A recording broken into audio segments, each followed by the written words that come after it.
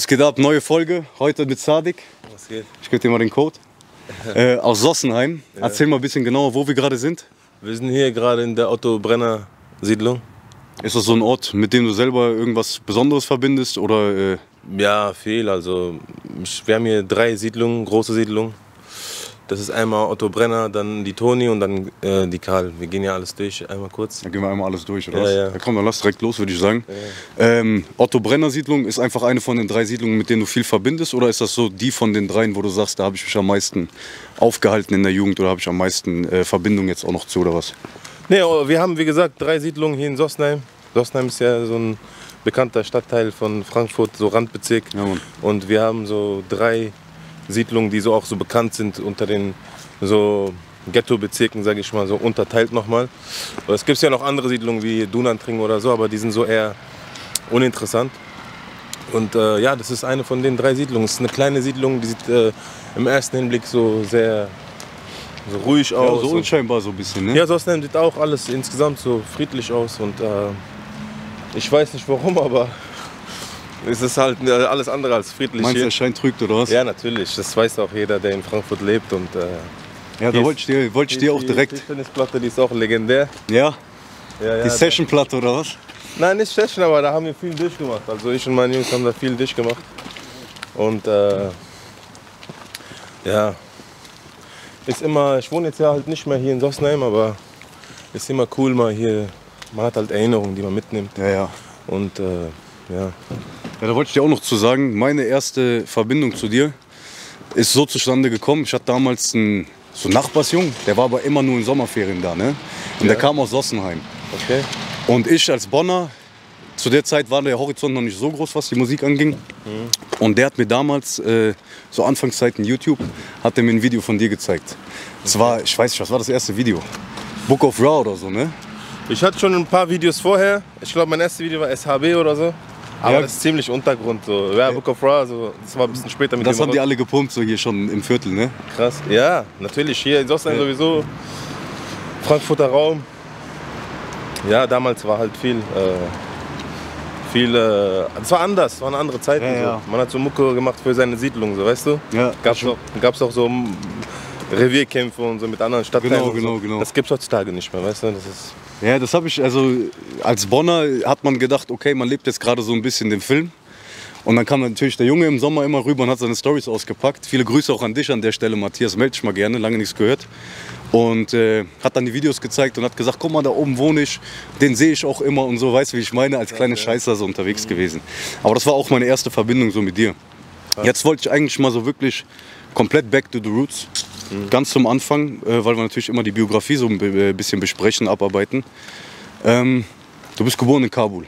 ja. Lass uns mal so ein bisschen, weißt du, wie du zur Musik gekommen bist, wie es überhaupt alles angefangen hat, wie dein Weg so war. Damit die Leute auch verstehen, warum du so eine Musik machst, äh, was deine Texte eigentlich widerspiegeln für ein Leben, all sowas, ja. Wie gesagt, Kabul, liegen deine Wurzeln, in Kabul geboren. ja. Ähm, erzähl mal, wie es dann weiterging. Ähm, ich war ja noch ziemlich jung, es war 88, Bürgerkrieg. Also 88 geboren, oder was? Ja, ja. Und äh, dann äh, sind meine Eltern geflüchtet nach, äh, nach äh, Indien. Genau, das finde ich aber, da, da musst du mir direkt erstmal erklären, was war da die Motivation, nach Indien zu gehen? Ja, Bruder, damals äh, sind die meisten nach Russland geflüchtet. Die Grenzen waren ja zu. Die meisten sind nach Russland oder sind nach äh, Pakistan. Und ähm, Indien war halt damals so fortschrittlicher als Pakistan, sag ich mal. Du bist im Kriegsland, du musst gucken, ob du nach Iran gehst, Pakistan gehst oder in Russland. Und da war schon die beste Option. Mein Vater war halt früher, ähm, hat eine hohe Position gehabt im Militär, im, im, in, äh, der war halt äh, General, weißt du. Und dadurch hat er die Möglichkeit gehabt, wie alle anderen hatten nicht die Möglichkeit, mussten zu Fuß flüchten, weil die Grenzen auch zu waren. Du konntest nicht fliegen und äh, wir sind geflogen, weißt du, ganz normal. Noch als geschlossene Familie, ja? Ja, ja, sind wir geflogen. Der hat halt so äh, die Pässe besorgt und alles. Die Möglichkeit hatten wir. Mit dem Außenminister hat er halt, äh, war er gut. Und dann äh, sind wir nach Indien. Da war ich halt ziemlich jung. Ich habe sowas ja gar nicht mitbekommen. Ich glaube, du warst zwei Jahre alt oder so, ne? Nee, nee, ich war drei Monate. Ich war sogar drei Monate nur.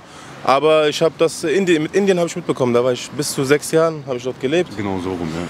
Aber es war eine ganz andere Zeit, Bruder. Das war 1990. Die Welt war noch ganz anders. Keine Handys. Ja, Mann, ja, ja, klar. Ja. Hast eigentlich das so das beste, beste Geburtsjahr meiner Meinung nach oder so zumindest so letzte, letzte Hälfte von 80ern. Bombenzeit doch eigentlich. Du hast in Ja. jungen Jahren eigentlich so die besten 90er miterlebt, ne? Und konntest die schon miterleben. Ja, Oder also ging da los so, ne? ich sag mal so Ende der 90er, weil ich war ja, ich bin ja mit zum Beispiel ungefähr 98 war ich 10. Davor war ich ja viel zu jung. Ah, übrigens hier, kann ich mich noch erinnern, wo ich jung war, wurde eine Frau ermordet. Ich glaube, ein bisschen weiter da. Kam ich hin, war hier so eine Blutlache, kann ich mich noch erinnern. Da war ich Als noch, kleiner Junge oder was? ja, ja, da war so ein ihr Ex-Freund und hat die, hat die zerstochen, weißt du. Wer war's da? Und äh, ja, also auf jeden Fall, ähm, ja, war geile Zeit. Also, dass ich die 90er miterleben konnte. Und Genau, aber jetzt nochmal, um, um bei Indien anzu, anzuknüpfen, so. Bis zu sechs Jahren warst du da, hat man jetzt nicht die größten Erinnerungen, denke ich mal. Was sind so Erinnerungen, die du da äh, noch hast? Boah, das sind so, ja, ich, das ist wenig noch. Also früher hatte ich noch ein bisschen mehr, aber Man verdrängt, ne? man vergisst alles. Also, so, was soll ich dir sagen? Ich war noch jung, so Schule, das Übliche halt. Viel äh, Hitze, Sommer, Ja. viele Tiere, die es hier nicht gibt. Ähm, Kulturell? Fisch- Kulturell, ja, das äh, weiß ich ja. Also indische Kultur, die sich leider jetzt, so, was heißt jetzt? Also jetzt sind halt auch große Spannungen. Da ist auch viel äh, Umbruch zwischen Muslime und Hindus und so. Und ansonsten eigentlich äh, so, ist mal, muss man erlebt haben. Ist mal anders. Das ist ein dritte Weltland, weißt du? Gibt es viel Armut, aber auch äh, die Leute freuen sich über Kleinigkeiten, weißt du?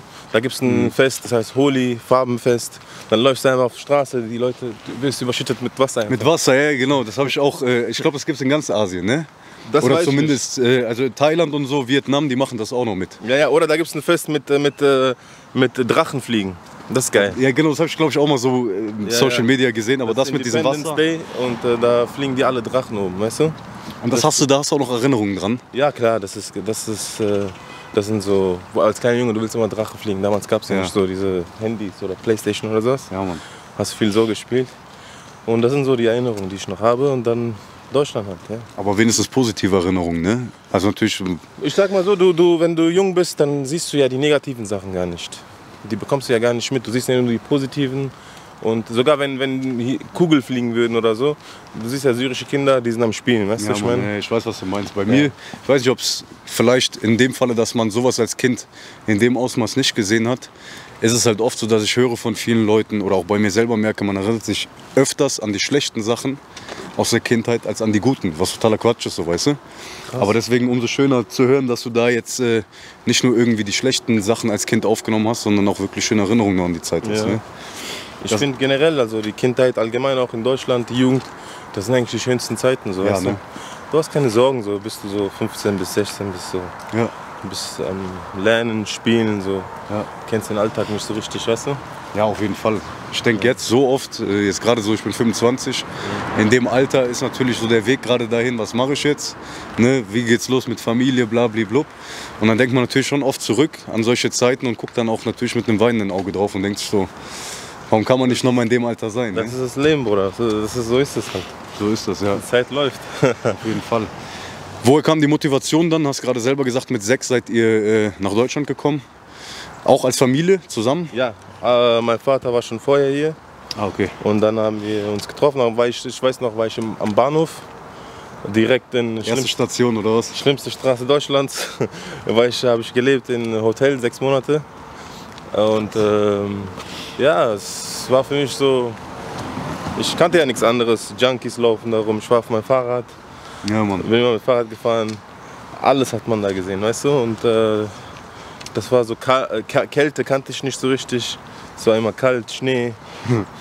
So, Äh, äh, Habe ich mir genauso gedacht. War, so Drogen, die waren ja dann das erste, oder das ist eigentlich die Frage. Drogen sind ja in Ländern, wo du herkamst, eher, äh, also meiner Meinung nach, eher, eher weniger aufzufinden. Ja, so, siehst ne? du nicht, siehst du Siehst du nicht, ne? ja, und äh, Wie war das dann auf einmal in so eine Crack-Welt zu kommen? Hat man gar nicht gecheckt erstmal wahrscheinlich. Hat man ne? erstmal nicht gecheckt, aber ich war direkt in Berührung mit. mit, mit Wo waren wir lang? Hier, da? Ja, ja, da. Geradeaus. Das war jetzt übrigens äh, die Karl, Karl Sonnenschein. Ah, haben wir schon einen zweiten Block abgemacht, oder was? Äh, Auf jeden Fall, äh, ja, ich kam direkt in Berührung, so, hab's einmal wahrgenommen und äh, es war so Normalität, weißt du? Ja, krass. Ja, ich wollte gerade sagen, so in, in jungen Kinderjahren ist man ja auch noch viel anpassungsfähiger. Ne? Also du nimmst die Sachen ja so hin und wenn Mama, Papa die Entscheidung getroffen haben, auch wenn nicht gewollt, ne? Ich meine, macht ja, glaube ich, keiner freiwillig, dass er seine Kinder da auf so eine Straße irgendwie spielen lassen muss. Ja. Aber ähm, als Kind nimmt man das natürlich, glaube ich, einfach dann so hin. Ne? Ja, man geht dann raus so einfach und äh, Ja. du weißt doch, du bleibst ja nicht Ewigkeit in der Wohnung, dann gehst du raus, fährst rum, siehst alles, weißt du, und dann, Das heißt, das war so normal, so ein Straßenbild zu sehen, die Leute zu sehen. Und äh, ja, im Endeffekt, äh, was hast du davon mitgenommen? Für dich als Kind, war das eine Motivation zu sagen, da will ich auf keinen Fall landen? ist Nein, ja auch oft gefährlich so. Eigentlich nicht, also ich habe so wahrgenommen, für mich war die Welt einfach normal so, weißt du?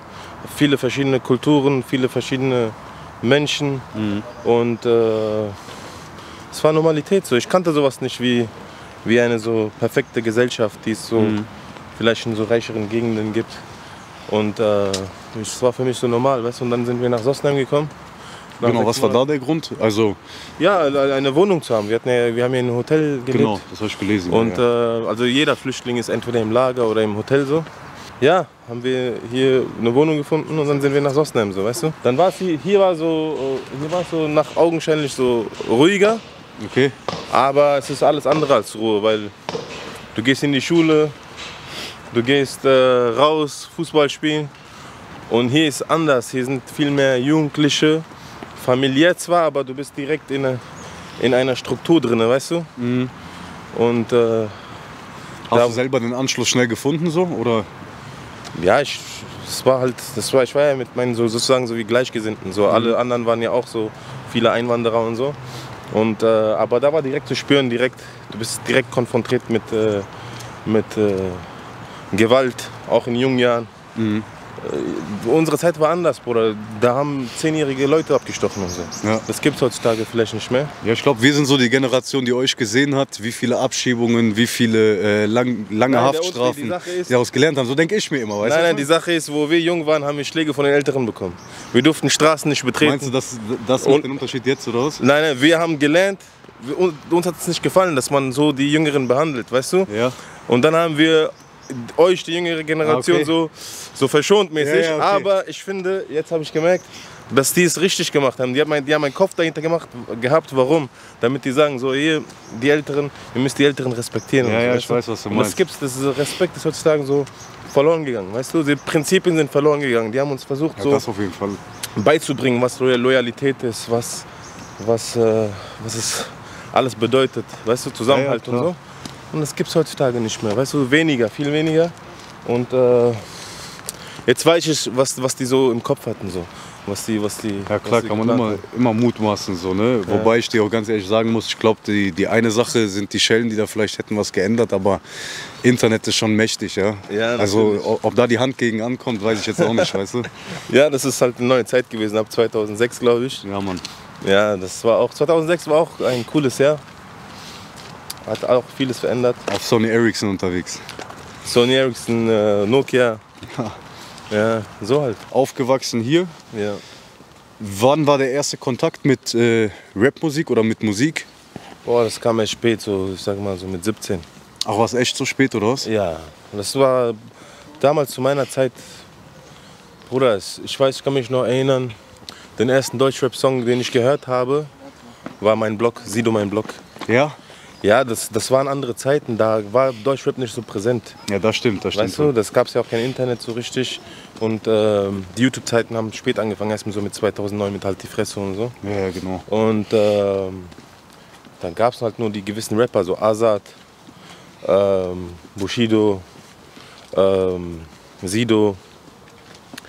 Wenn ein Album rauskam, egal von wem, ob es jetzt, ich kann mich noch erinnern, ob es jetzt Bass Sultan Hengst ist, mit Schmetterlingseffekt damals, das, dann hast du es dann hast du's einfach durchgehört, bis das nächste kam, weil es einfach Ja, zu ja, wenig genau. gab, weißt ja. Aber es war auch noch schön, weißt du, weil du, du Natürlich. hattest die Zeit, dir ein Album. du? Ja, und Komplett da, zu da geben. gab es Songs vielleicht, die du niemals hören würdest, Ja, genau, aber du genau. hast die so oft gehört, dass die irgendwann... wo du Hast du das sagst, entdeckt so? Dass du gesagt hast, ey geil, weil damit Ja. hast du so verbunden, was, was du damals gemacht Ja, hast. und Mann, so. ja, Mann. Komplett, fühle ich zu 100 Prozent.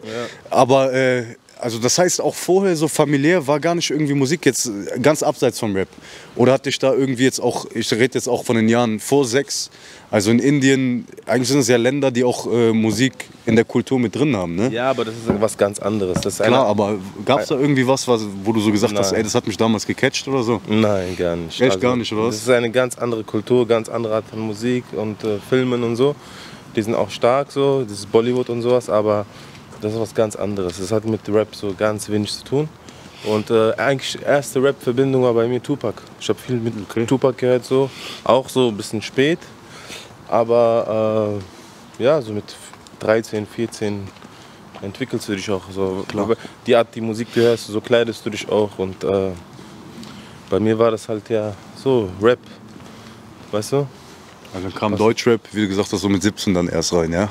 Also selber ja, mit 17 habe ich Okay, nee, ich meinte so im Allgemeinen, was so dein erster Musikkontakt war, Rap-Musikkontakt Ja, aber nicht mit 17, war schon vorher. War früher, ne? Wollte Ja, ich sagen. ich weiß jetzt schon- nicht, wann Sido mein Blog rausgekommen ist, aber das war halt die Zeit so.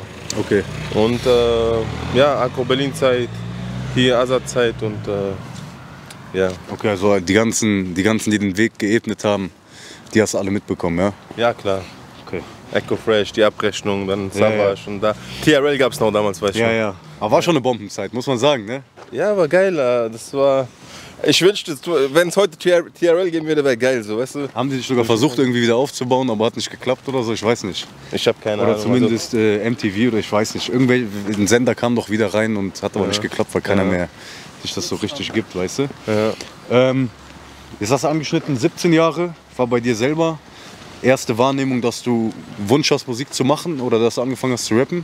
Ja, ich habe halt, äh, da es so wenig gab, Output so im deutschen Rap, habe ich irgendwann angefangen, so französische Buba habe ich angefangen, ange, Ah, äh, angefangen zu hören und dann gab es halt auch seine Beats, weißt du, und dann Mhm. habe ich seine Beats gehört, habe ich versucht selber zu schreiben. Äh, hier rechts, lass mal hier rechts gehen.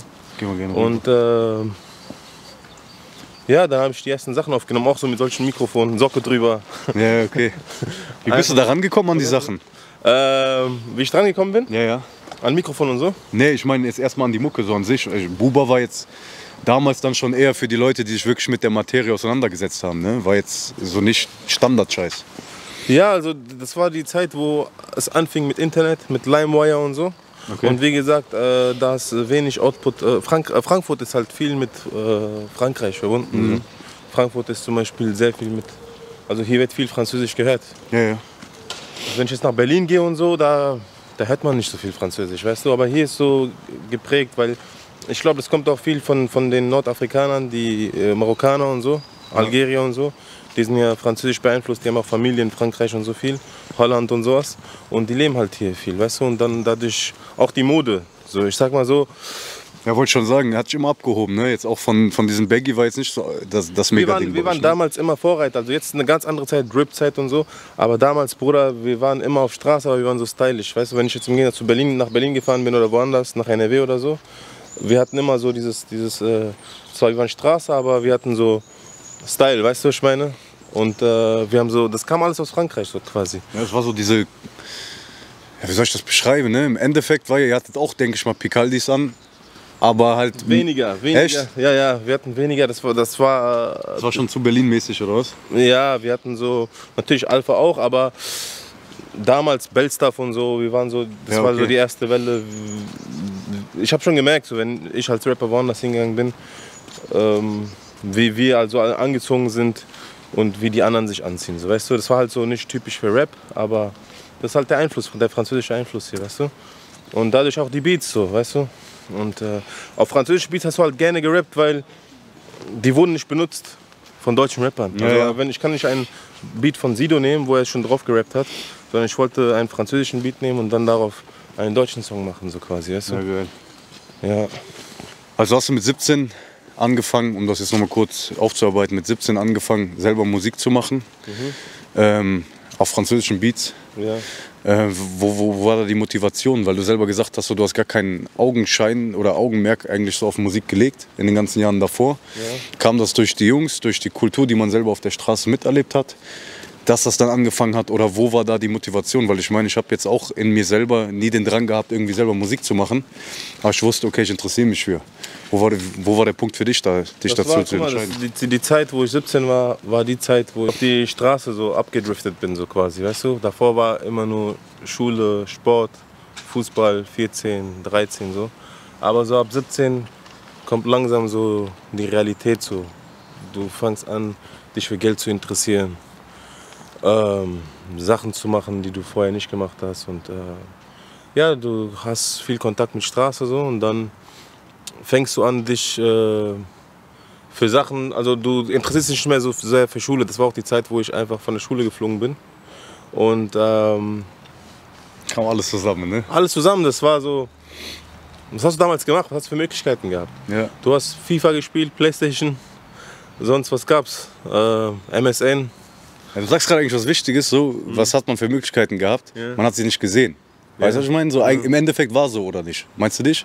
Ich meine, Selbst wenn man nicht die Schule macht, man hätte ja irgendwo auch äh, an der Straße vorbeigehen können, Nee, aber man hat. ich, ich meine, ich meine mit Möglichkeiten so deine Zeit zu vertreiben. Das Entweder nimmst du, du Drogen oder du machst Sport oder du machst äh, Musik, so weißt du, oder du ist, heutzutage ist ja viel breit gefächerter. Du kannst YouTube machen zum Ja, ja, Beispiel. genau, ja. Du kannst äh, irgendwie was erreichen, weißt du? Und ich habe einfach äh, versucht, Kunst zu machen, so, weißt du? Musik zu machen, so deinen Schmerz in Texten zu verarbeiten und so. Ja. Und es hat Spaß gemacht so, und äh, das war was Gutes. So. Und ähm, das ist ein unbeschreibliches Gefühl, wenn du so dein, dein, dein, Leiden, dein, dein Leid so in Texte Ja. verarbeitest. Das kann ich nicht beschreiben, so, weißt du? Ja, Das muss jeder selber probieren. Im Endeffekt, man fühlt es ja, wenn man, also wenn ich jetzt von dir ein Lied anmache, ich fühle das. Ist nochmal Ja. eine andere Stufe als jemand, der jetzt nur aus der Motivation zu rappen, um cool zu sein. Man, man spürt Genau, genau, das, ist, das sieht man heutzutage ja auch, die ganzen TikToker und so. Die Leute machen nur Musik, um äh, Klicks zu machen, um Ja. Namen zu. Das war damals anders so. Damals gab es ja kein Geld im Rap, so weißt du. Damals hast du einen Song gemacht und du wolltest einfach eine Message dahinter setzen, so, Ja, weißt Mann. du. Und äh, ja, das, hat, das war halt die Zeit und so hat alles angefangen. Quasi. Für mich war damals, weiß, ich weiß noch ganz genau, Narkotik-Album. Ja. Ich dachte, ey, das sind die Kings. Die müssen Geld haben ohne Ende.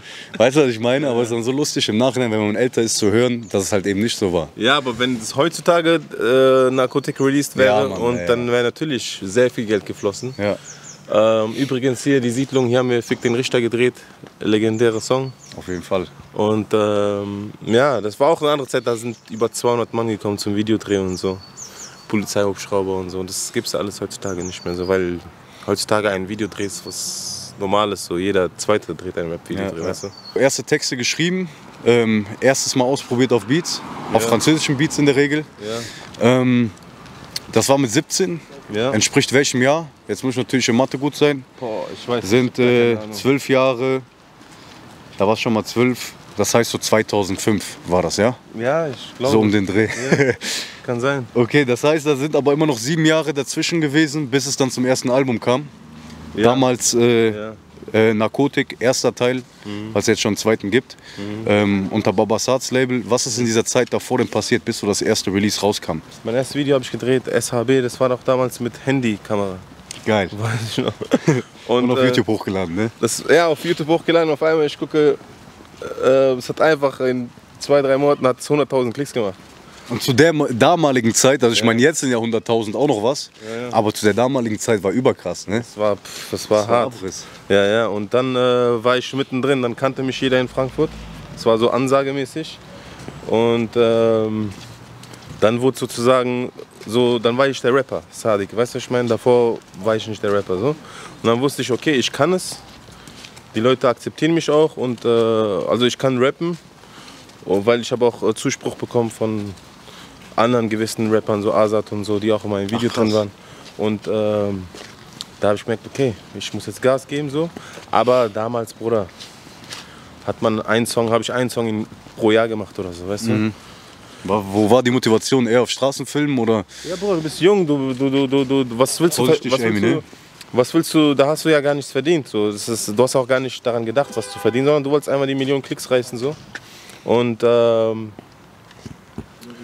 ja, dann hast du halt äh, pro Jahr so nebenbei halt Musik gemacht, weißt du? So ein bisschen rausgedroppt und äh, deine Sachen halt so gemacht. So.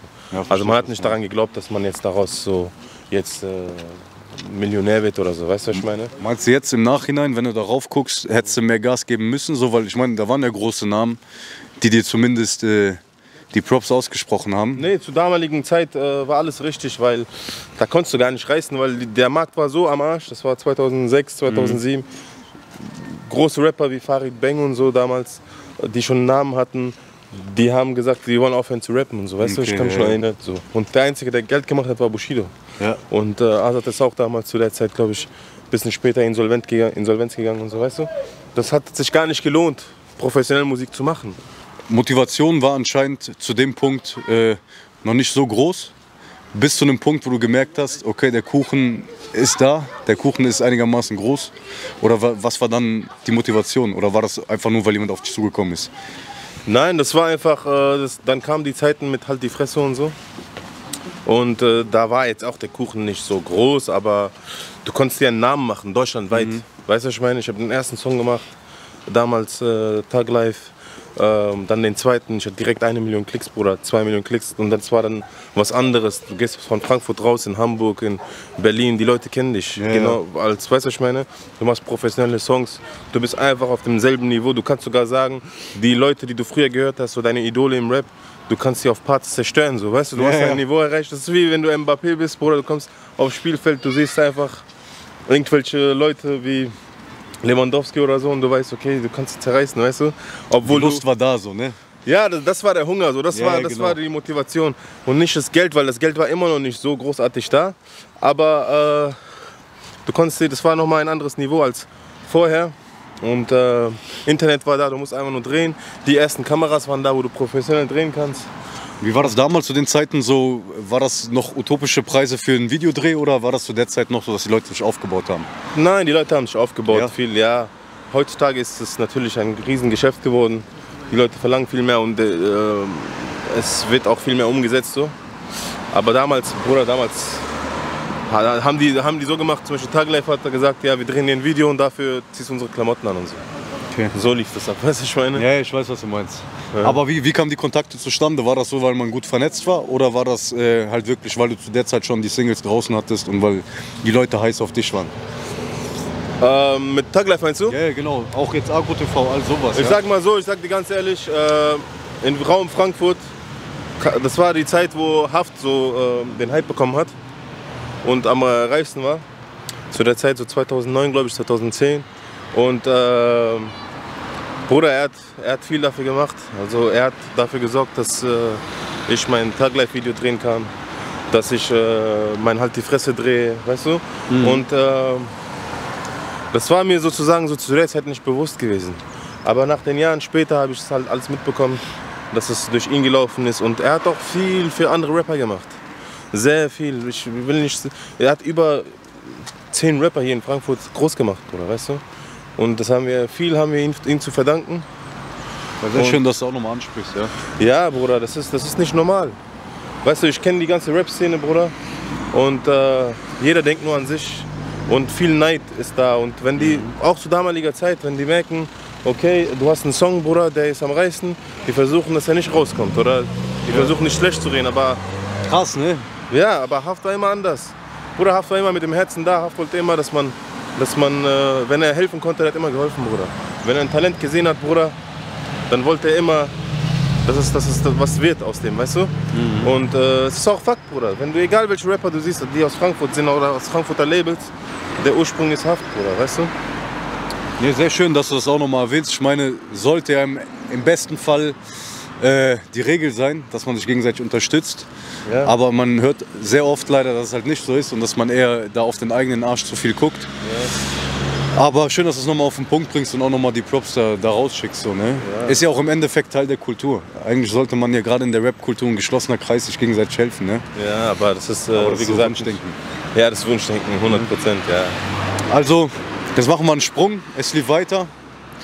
Auf einmal kam die, kam die Motivation, weil man dann gesehen hat, okay, äh, Klicks steigen.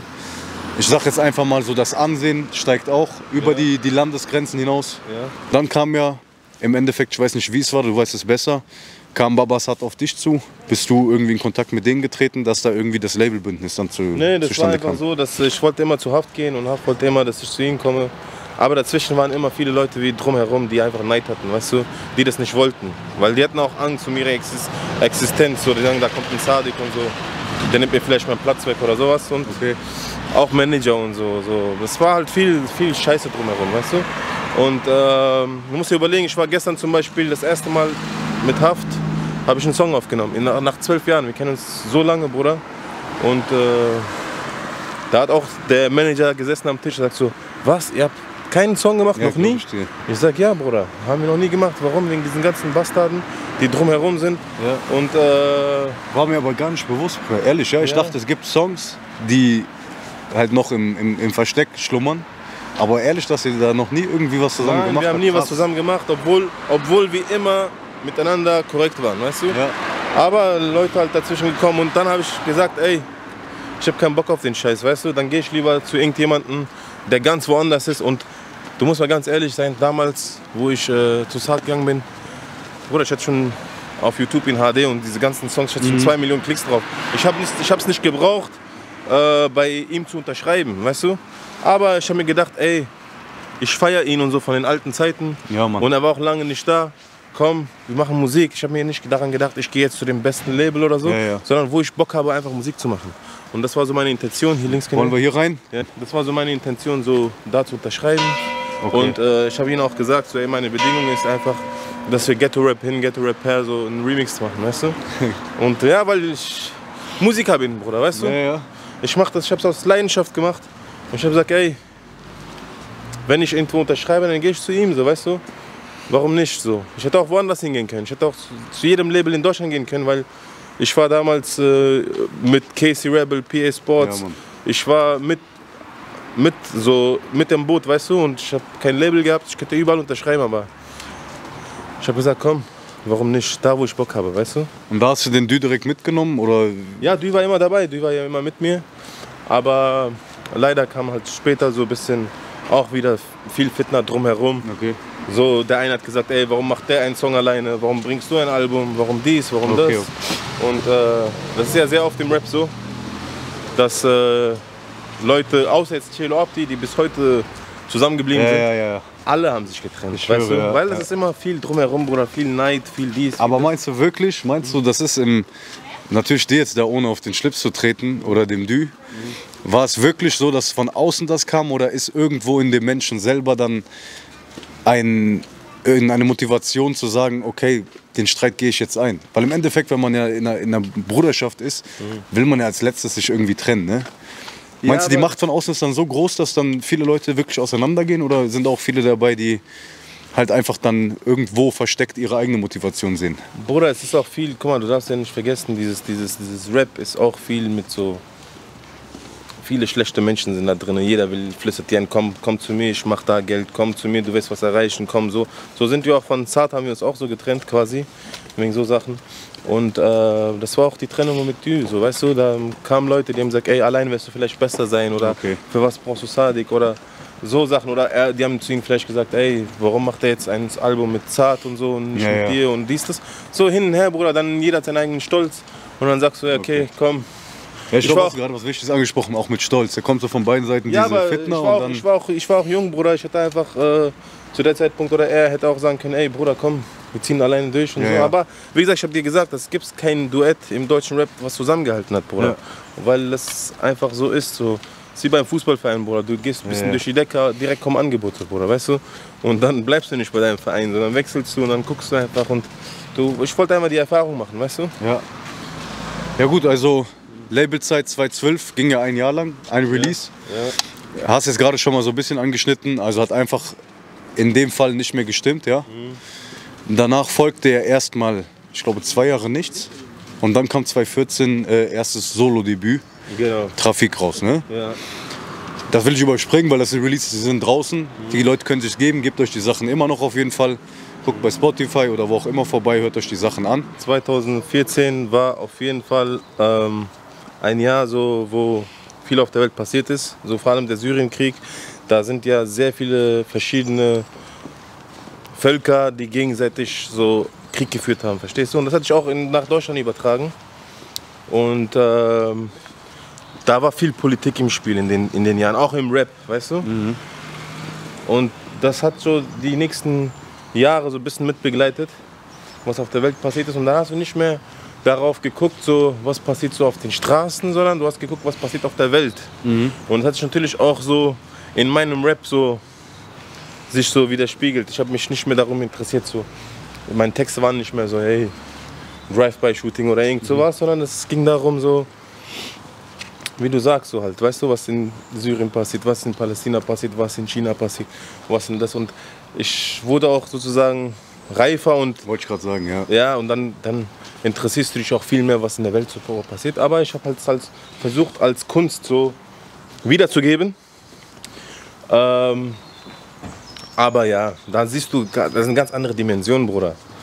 Das, da, da kämpfst du gegen ganz andere Mächte, weißt du? Ja, ja, ja, ja, Bruder. Und dann habe ich gemerkt, so, ey, wenn du so weitermachst, Bruder, du bist. Bruder, ich bin nach England geflogen. Keiner hört mehr von dir, ne? Ich schwöre, ich bin nach England geflogen und äh, das ist ja eine Insel, so Großbritannien. Und die haben mich rausgefischt. Die haben gesagt, hier, wer bist du und so. Echt? Ich so, wie wer bin ich? Dann sagen so, ja.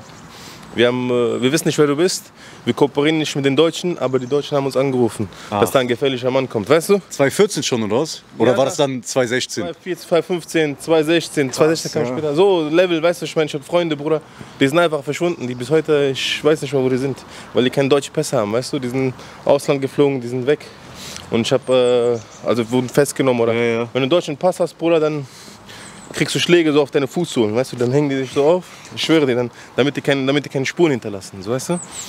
Und damit die nicht sagen können, hier, der Deutsche wird geschlagen und so. Ja, ja. Und das Komische ist, die schlagen dich nur oder die nehmen dich fest wegen der deutschen Regierung.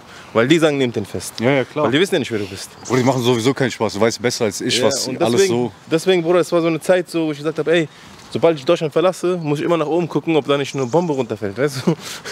Und äh, deswegen so, ja, ich habe versucht einfach nur Kunst zu machen, weißt du? Also, Und jetzt. die haben, die haben versucht dann daraus so ein Ding zu verdrehen, so, ja, ach, das ist der Gefährliche, das ist der, dies und haben mich versucht in eine Schublade reinzustecken, Ja. wo ich darauf folgenden Jahre es sehr schwer hatte, wieder da rauszukommen. Wollte ich gerade sagen. Wollte ja, sagen. aber ja, was sollst du machen? Im Endeffekt, äh, also wie ich es jetzt so mitbekommen habe, wie du es mir auch gerade schilderst, war es so, dass du reifer geworden bist, dich mehr für Politik interessiert hast. Was geht in der Welt ab? Wie sind die Verhältnisse in der Welt? Ja. Hast das dann natürlich alle Infos, die du auch in kurzer Zeit dann, denke ich mal, überhaupt aufgesaugt hast, die dich be belastet haben oder beschäftigt haben. Ne? Ja. Hast du versucht, in Songs zu packen und hast dann da halt den Gegenwind bekommen und gemerkt, okay, der deutsche Staat ist da nicht so gut drauf zu sprechen. Ja? Ja, natürlich. Und ich habe auch, ich habe auch, äh, ich war auch ein, ich bin auch ein offener Mensch, Bruder. Ich treffe mich mit vielen verschiedenen Menschen. So, ich, Okay. ich, ich will mich austauschen, weißt du, was ich meine. Aber ich habe auch gelernt, dass das ein Fehler ist, so, weil wenn du jetzt zum Beispiel, wenn ich ein Interview führen würde mit, äh, wenn, mit Mhm. einem Nazi oder so, und ich führe nur ein Interview oder ich will nur ein Gespräch mit ihm führen, heißt es sofort, ey, du bist auch einer. So, Ja, oder? ich weiß, weißt du, ich meine, was sitzt du mit dem und so. Aber das ist ein Austausch, Bruder, weißt du, und das, aber das kannst du nicht bringen irgendwie. Und das habe ich gelernt, so, dass, dass, dass, dass, dass du dich nicht mit jedem blicken lassen kannst, weißt du. Und ähm, es ist einerseits traurig, aber andererseits ist es einfach die Realität, weißt du, was ich meine. Und die Gesellschaft ist halt so, die tickt so, wenn du wenn du mit gewissen Leuten zu sehen bist und einfach nur ein Gespräch führen willst, heißt es direkt, die stempeln die dich ab, Bruder. Und ja. Hast du selber jetzt ähm, gerade nochmal angeschnitten. Es war ruhig. Jetzt kam dann 2021, letztes Release. Ja. Ähm, auch wie gesagt, da checkt das alles ab, gebt euch die Sachen. Ähm, jetzt möchte ich aber nur noch von dir erfahren. Wie sieht's aus mit Plänen? Ich habe jetzt gestern in deiner Instagram-Story gesehen und hast selber angesprochen, nach zwölf Jahren mit Haft, erstes Mal Studio, erstmal zusammen was aufgenommen. Äh, hast auch so ein bisschen hinter den Kulissen schon was angeschnitten. Erzähl mal ein bisschen so in die Öffentlichkeit, was jetzt so die Pläne sind, was können die Leute erwarten, mit was können die rechnen. Ich äh, mache da weiter, wo ich äh, 2014, 2015 aufgehört habe. Und äh, auch mit den Leuten, mit denen wir angefangen haben, sozusagen Back to, back to the Roots. Und äh, Bruder, ich gebe Vollgas. Mein Album kommt, mein bestes Album, was ich je gemacht habe, ist Buscapé, Bruder. Und das, Das äh, ist schon der Titel, oder was? ja, ja, mein Titel ist Buscapé. Der Buscapé war ja der Fotograf, der, Yes. der die Straße widerspiegelt hat sozusagen. Und das ist, passt zu mir. So, ich, ich sehe die Straße, ich widerspiegel sie, weißt du? Geil. In meinen Texten und so. Ich mache auch Kunst so wie er. Und äh, das ist mein Album, Bruder. Und ich, ich habe da einige Brecher drauf, aber viel auch viel mit Schmerz gerappt, viel mit Ghetto und so, weißt du? Und äh, ähm, das wird geil, Bruder. Ich, ich freue mich mega. Ich mache Musik aus Herz, Bruder. Ich gucke nicht, was Streams macht, was nicht. Und das ist pure Straße und äh, das wird kommen auch. Ich habe auch ein geiles Feature mit äh, einem tunesischen Sänger. Auch geil, international. Und äh, da werde ich auch äh, nach Tunesien fliegen. Geil. Und ähm, ja, Bruder, es sind ein, ein, einige Hochkaräter dabei, so große Namen. So, also für mich ist große Name so nicht einer, der jetzt 10 Millionen äh, Streams unbedingt macht, sondern große Name, der, den jeder kennt. Im deutschen Rap, für mich ist das ein großer Name, Bruder. Geil. Und äh, mit Dümerock, ja, gucken wir auch, wo die Reise hingeht. Von den zwei kommt ein geiler Song. Ja, sag mal, Januar angekündigt. Ja, Bruder, es ist äh, Corona-Zeit. Der Kameramann ist krank. Ich hatte Corona gehabt. Viel verschoben und äh, ist nicht so leicht, weißt du? Alles Aber wird um, umstrukturiert. Es wird, es wird kommen, Bruder. Und es wird, es wird geil werden, Bruder. Es wird, man wird es fühlen auf jeden Fall, weißt du? Bin ich überzeugt, auf jeden Ja. Fall. Jetzt sind wir wieder angekommen, da wo wir gerade eben zu Beginn des Interviews drüber gesprochen haben, an der Tischtennisplatte. Ja. Ich würde sagen, wir setzen uns einfach auf die Tischtennisplatte, Ja. machen den zweiten Teil. Wie gesagt, da immer der Aufruf. Checkt Instagram ab, folgt uns auf Instagram. Wir haben die, oder ihr habt die Möglichkeit, besser gesagt, Fragen zu stellen an den Künstler. In dem Falle sind viele Fragen reingekommen, das seht ihr im zweiten Teil. Deswegen auch da nochmal abchecken, YouTube abonnieren, Glocke aktivieren. Das war die Folge mit äh, mir, Sadik, äh, auf ein Tee. Und äh, war geil, war ein geiler Talk. Gebt euch, äh, abonniert und äh, folgt. Ever, ich bin raus. Auf ein Becher!